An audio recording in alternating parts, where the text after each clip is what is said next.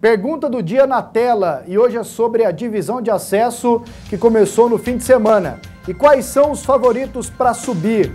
Você responde pelas redes sociais do PUC TV Esportes, o facebook.com barra PUC TV Esporte, o Instagram arroba PUC TV Esportes, Twitter arroba Esportes ou então no nosso WhatsApp 6298599 Respostas sobre a pergunta do dia.